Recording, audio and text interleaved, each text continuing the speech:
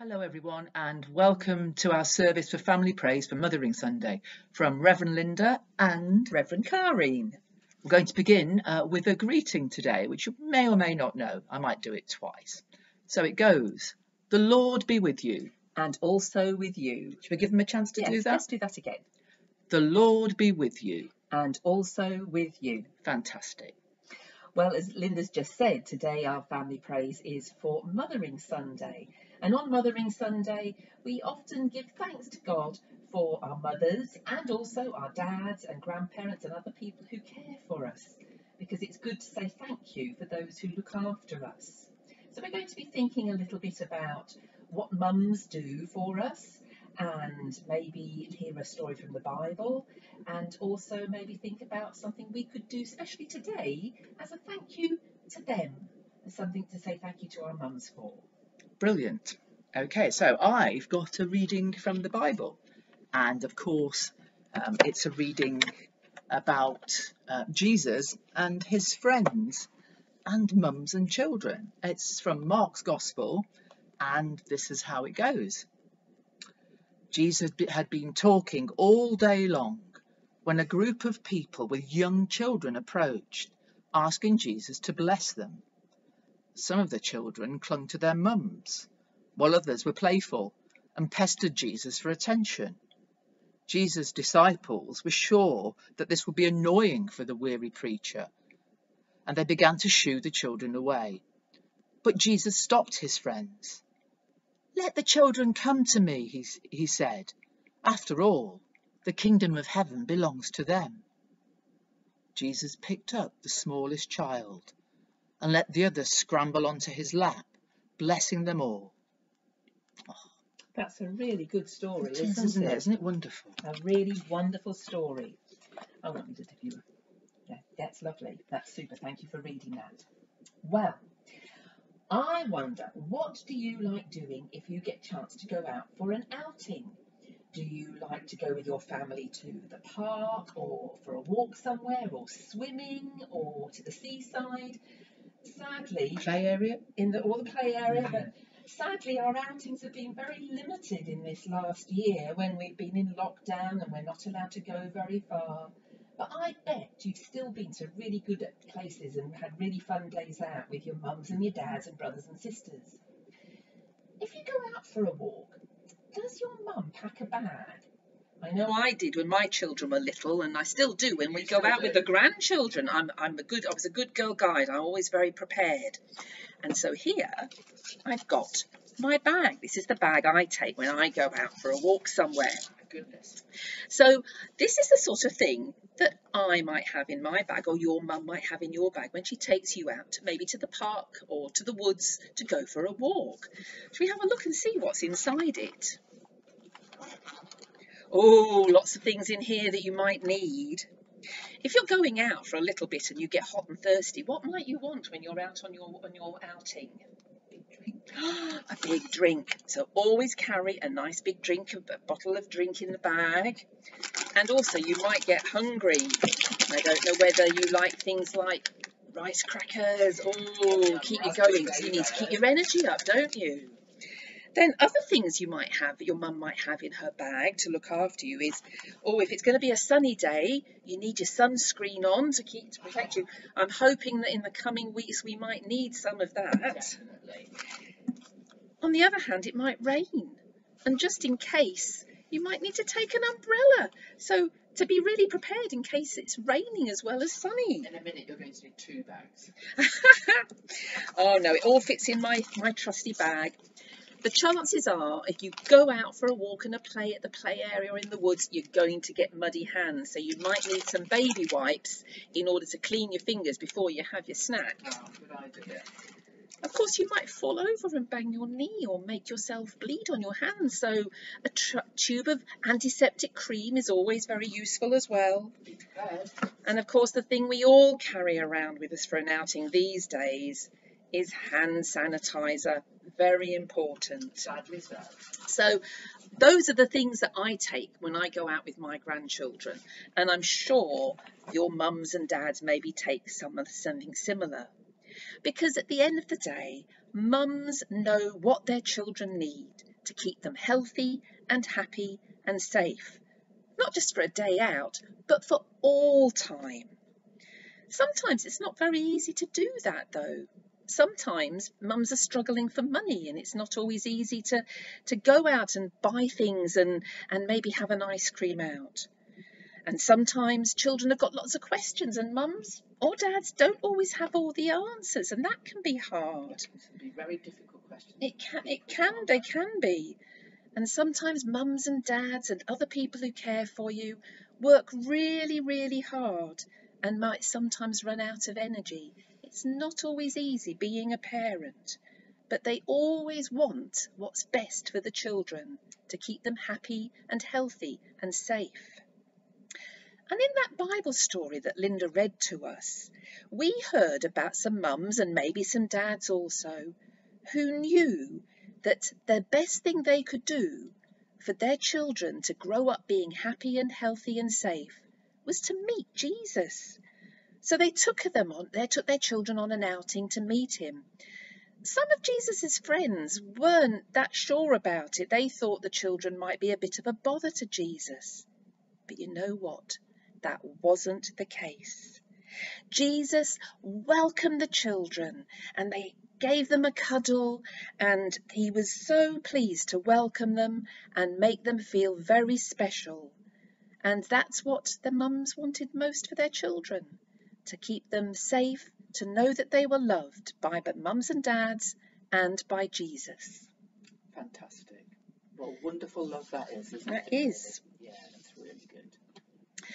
So, because our mums and our dads and everybody else who looks after us, but particularly today we're thinking about mums and our mummies, because they do so much for us. Sometimes it's really nice to be able to say thank you in a special way. Not just normally, but a proper big A thank proper you. big thank you to sort of say, Yes, mummy, I know how much you do for me, and I really appreciate that. And so I wondered, one of the things you might be able to do at home or wherever you are at the moment is to make a card or maybe um, a card you can open or maybe just a flat card. And I was thinking about what do we use to do things for other people? We use our hands. So I thought one of the things you might like to do is to get a piece of card, and I've got a piece of green card here, and I folded it in half to make it like a greetings card. And I'm going to draw around my hand. So here's my big green pen. And if I was really clever, I could have a camera pointing at my hand, but I can't while I'm drawing it. So I'm going to quickly draw around my hand. There, I've got very big fingers and they only just fit on this piece of card. There. That's my hand. And what you could do when you've drawn your hand on your card, you might want to decorate it. And then maybe on the inside, you could write, Dear Mum, thank you for being my mum, and I'm going to help by.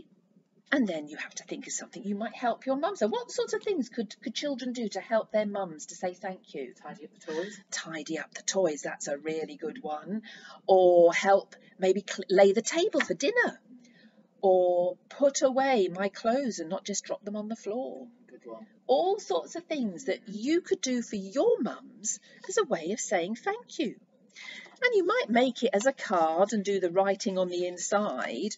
Or if you're really good at cutting, you might just cut round it, draw your hand and cut round it, and you could write your mummy's name on one side, say mum on that side, and on the other side, put what you're going to do, help clear up, and then you could give your mum your hand, Offering a real helping hand. offering a helping hand to say thank you, mummy, for all the things you do for me. That's amazing. I think that'd be a really nice idea. thing to do. I might finish mine off when we finish Yes, the family praise. You'll have your own ideas about how you can help, particularly, won't you, as well? So that's wonderful. So thinking about that, um, we're going to have a prayer. It's a bit of an activity, and um, we're going to think about all the things that mums do for us. Well, not all of them, because that would take far too long. uh, but I've got some ideas about what mums do for us, uh, and you might have other ideas as well. So I've got a few uh, things to help here. I've got my bag as well. Bag as well, a big That's shopping right. bag. Shall I hold it for you? Uh, I think I've got Okay, some things to okay, do. Is that okay. okay? So what do mums do to help us? There we go. Can we see that one? They that? wash the clothes. That's a really helpful Yeah, thing to do. soapy, it? Yeah.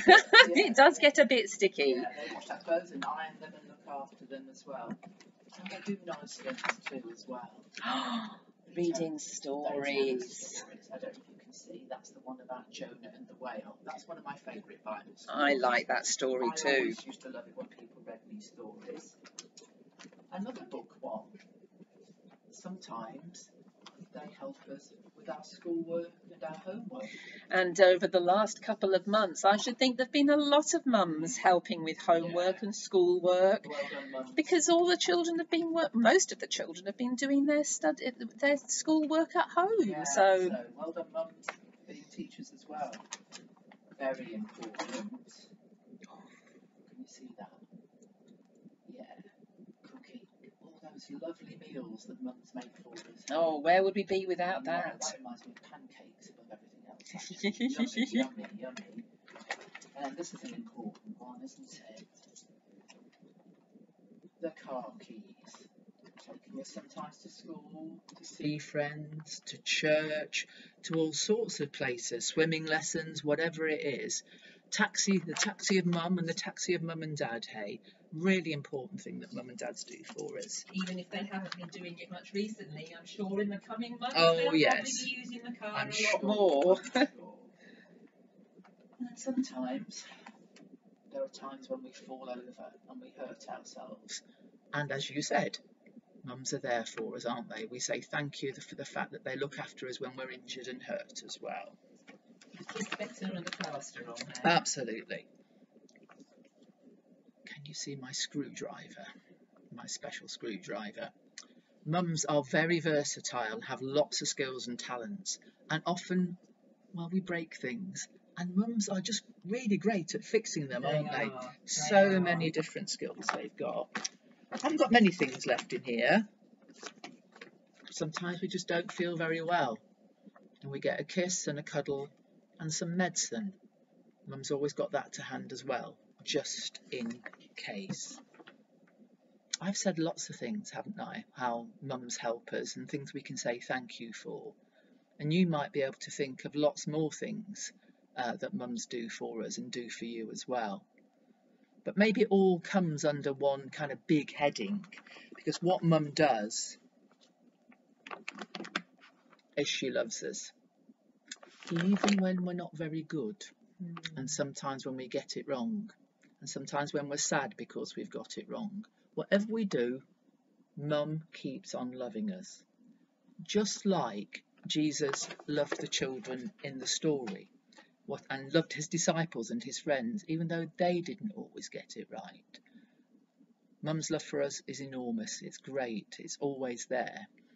And God's love for us is remarkably and unbelievably even bigger than that.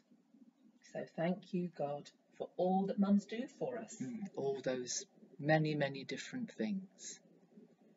And we're going to round our thoughts and prayers together by saying the prayer that Jesus gave us. Uh, join in if you can, really. Our Father in heaven, hallowed be your name. Your kingdom come, your will be done, on earth as in heaven. Give us today our daily bread, and forgive us our sins, as we forgive those who sin against us. Lead us not into temptation, but deliver us from evil. For the kingdom, the power, and the glory are yours, now and forever. Amen. We're going to have a song, and the song is Jesus' Love is Very Wonderful. And it's got actions that you can join in with, and you can join in with the singing as well, because it keeps repeating, and I'm sure you'll pick it up. So let's sing.